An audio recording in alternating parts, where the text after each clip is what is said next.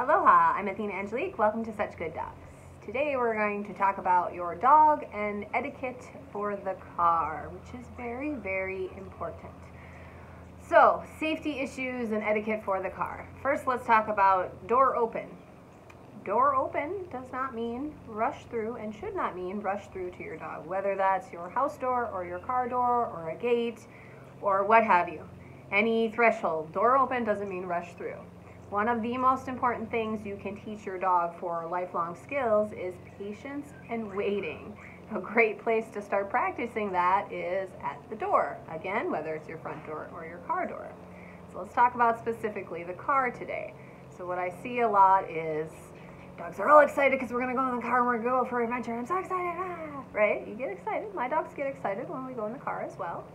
And normal dogs will just rush to the car. Humans struggling to open the car door. As soon as the car door opens, dog rushes into the car and is all excited back and forth, back and forth, back and forth in the car.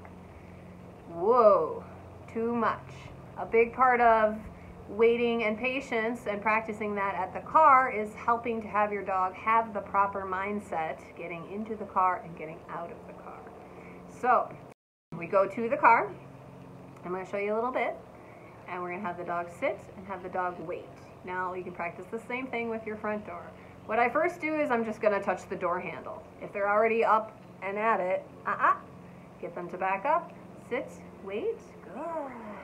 I want to be able to go all the way to touch the handle, I'll jiggle the handle, I'll open it an inch, inch by inch by inch till I can get it all the way open. Anytime the dog gets up and tries to rush in, we're to mark we disagree with that, uh-uh, walk the dog away, go back to having the door shut, start all the way over.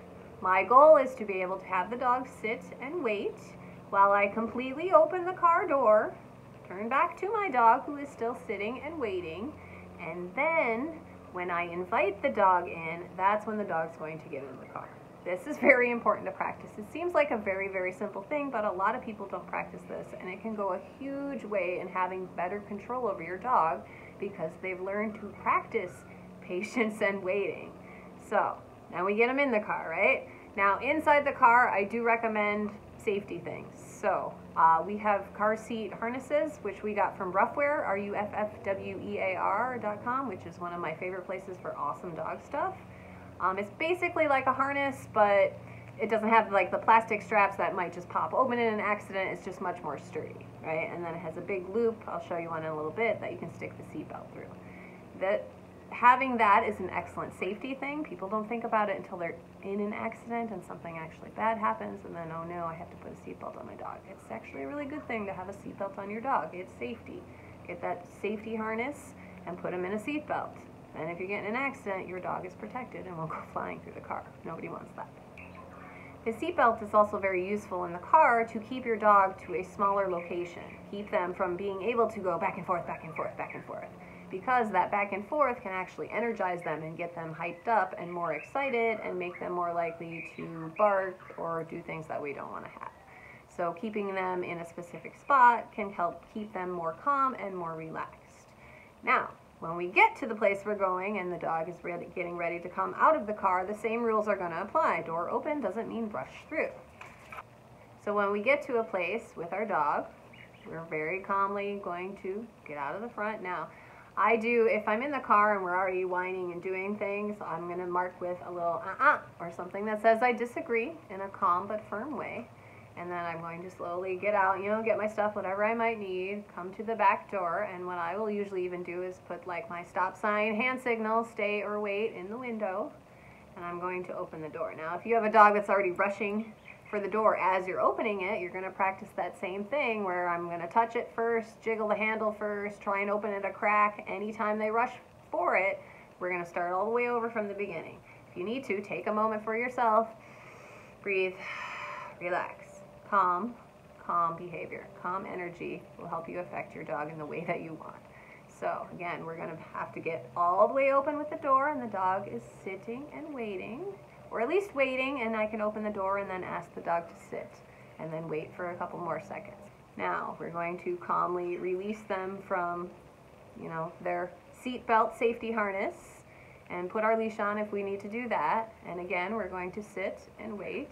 Good. Now one thing I like to be able to do, keep your hand up, you're gonna step back, So you're not blocking it because they need to be able to wait without you physically blocking it as well, right? So I want to be able to take a step or two back, have my hand on the leash, have them waiting. Good. You want eye contact with your look or watch me before you let them out of the car.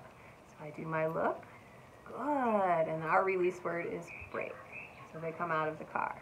Now, coming out of the car doesn't mean run towards the beach.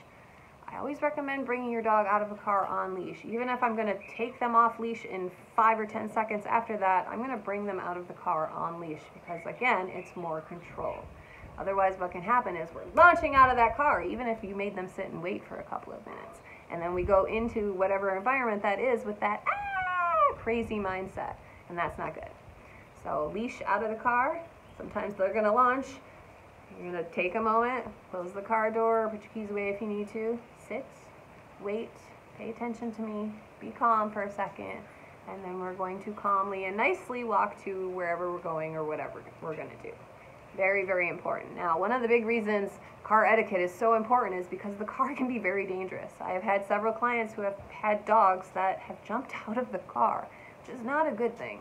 And they always come to me after the fact, right? So if you start this beforehand, then your dog won't jump out of the car. I, I did have one client they they had a um, a truck with a topper on the back, but it wasn't the the back hatch wasn't like an actual solid thing. It was one of those like tarpy flappy things, right? And what they would do is just open the tarp, and the dog would jump out as fast as possible whenever they got to where they were going. Well, one day they were going down the highway, and it happened to be very very windy, and the tarp flap flipped open, and the dog jumped out of the car on the highway very, very bad. Luckily, the dog is okay after some stuff, but obviously, we don't want that to happen. This is why patience and waiting is so very, very important in your dog's life, and especially when it comes to the car. Safety first. Keep your dog safe. So real quick, I'm going to show you this harness. This is by Ruffwear. Aren't they cute? So this is the part that goes on her back. This goes, her head goes over, and this clips underneath. And this is safety because instead of like the plastic normal things you see on a harness, it has more of that seatbelt kind of thing goes through. And then it clips in like that. So it's not coming out, it's not gonna bust if you hit, you know, get in an accident and hit really hard. So I'm gonna show you with the Soka real quick. Come here, baby.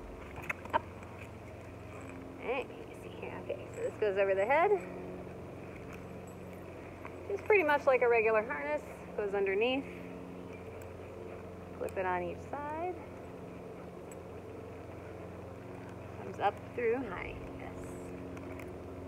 And then make sure it's in there where it's supposed to be. And then it has this fabulous loop that is nice and big that you can put your regular seatbelt through and clip in like a regular seatbelt and your dog will be safe. So check out the Ruffwear safety harness one of my favorites or find one that you love.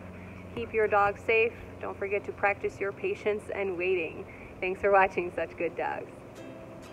Good girl.